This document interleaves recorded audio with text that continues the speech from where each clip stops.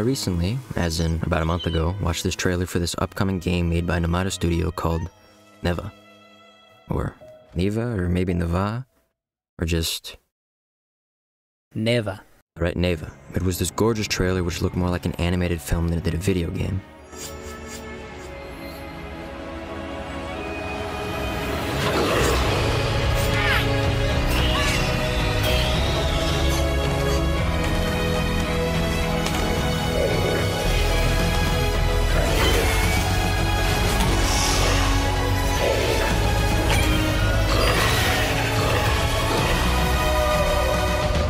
This trailer had the ability to make me emotionally invested in a story I had known nothing about in just two minutes, without a single line of dialogue, just music and visuals.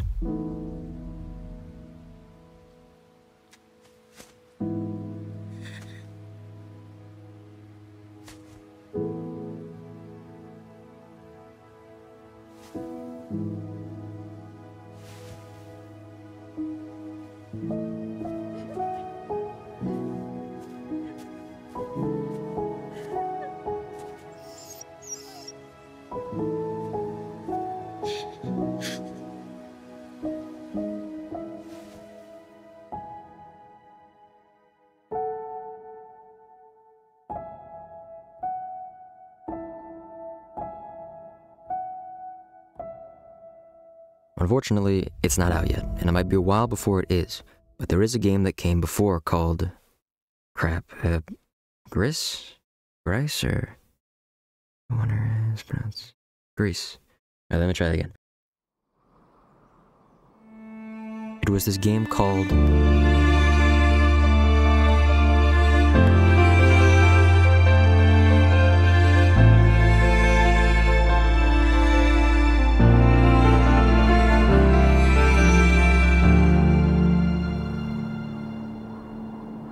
Developed by Nomada Studio and published by Devolver Digital on December 13th, 2018, it's a story without a single word being spoken.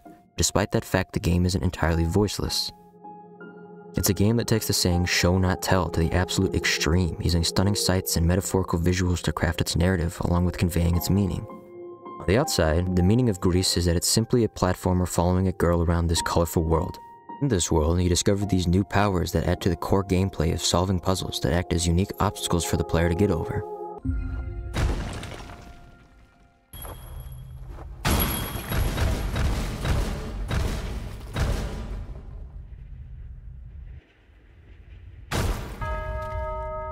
And it's very much so a walking simulator. You know you walk in a straight line to get to one destination, get whatever it is you're looking for, whether it be a new power or these little orb things that help you progress. Then you turn around and walk in a straight line again. However, instead of it being this tedious, mind-numbing task, Gris finds a way to engross you into the world with its vivid scenery and music. I mean, just holding the D key and walking in one direction can't be boring when you're faced with such breathtaking landscapes and such an amazing soundtrack.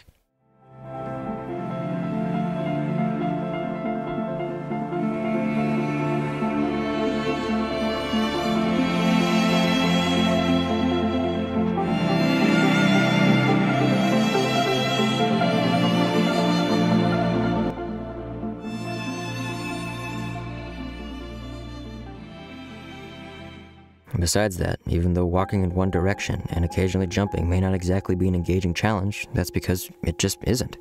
It's not a game that'll make you tear your hair out in frustration. It won't leave you a broken mess of a person, and if you enjoy a unique form of storytelling, or just a unique story in general, it won't leave you disappointed.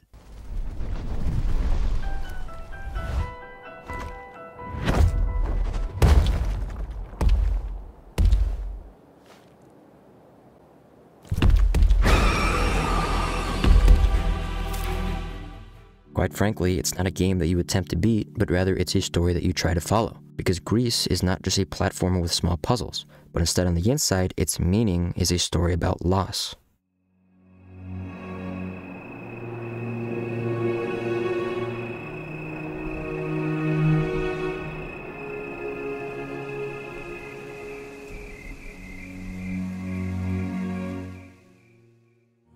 Beginning of the game, the main character you follow sits peacefully on the hand of a statue as she harmonizes with the music being played.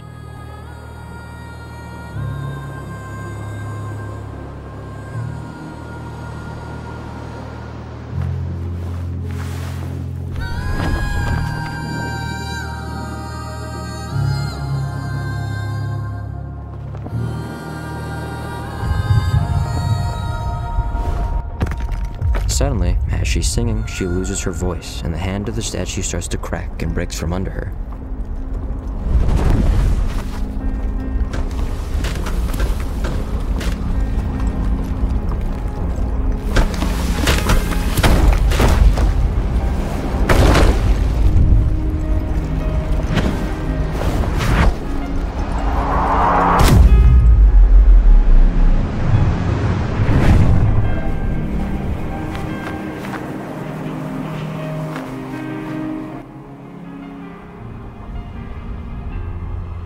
Starting this very beautiful falling sequence as the credits roll. Honestly, every part of this game is beautiful, so that's a given. But as she finally lands, she then begins her grieving process, starting with denial, then anger, bargaining, depression, and then she attempts to reach acceptance. As she progresses towards acceptance, she's able to bring color into the world that was once gray and colorless.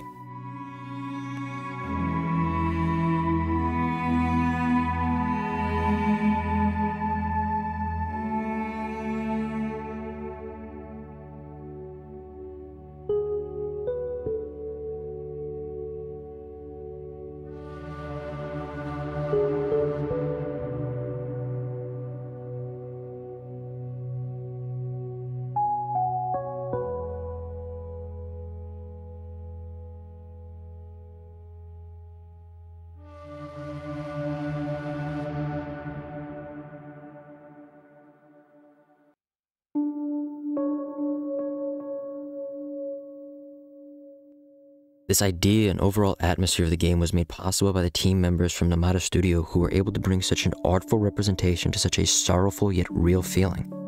Looking at the team behind Gris, which consisted of not a lot of people, it's astonishing how such a medium of storytelling was ever produced.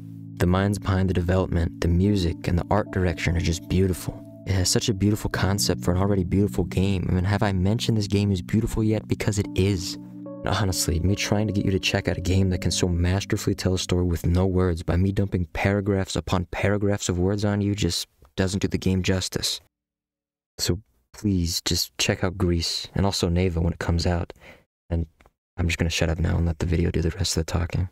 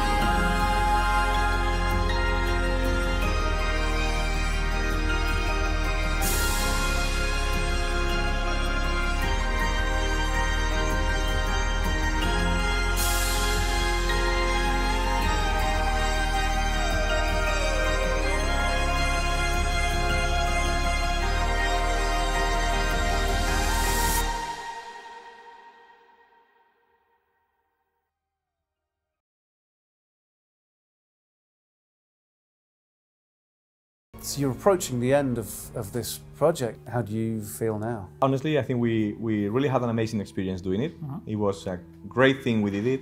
I think the end product uh, is very similar to what I had in mind. Yep. So we are very happy with the with the results. So it's like, I hope people like it. But if they don't, it's like, well, I'm sorry, but we like it. We think it's a really good thing. I think you should try it because even that you might think is not the Your- type of your type of game, you should try. Honestly, it's it's really special thing, and we put our hearts on it.